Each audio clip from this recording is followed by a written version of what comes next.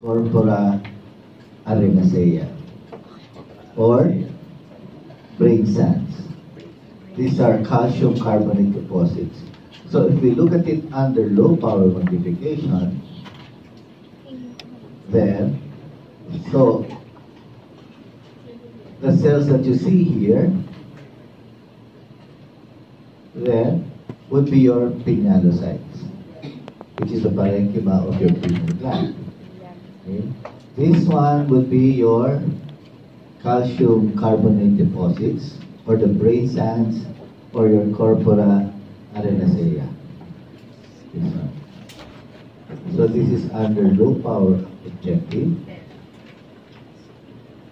High power objective, try to look at the parenchyma. And what does the pineal gland secrete? What hormone? Melatonin. Ah, Melatonin. melatonin, which is for your diurnal pattern. Okay. So these are your pinealocytes there. This is the phalanx cytoplasm, basophilic uh, the nucleus, and this one now would be your corpora arenacea. There. So that would be the corpora arenacea. So they will be secreting your melatonin. Okay. So this is an additional slide. Uh, it was not shown to you a while back. So try to look at this also under your microscopes.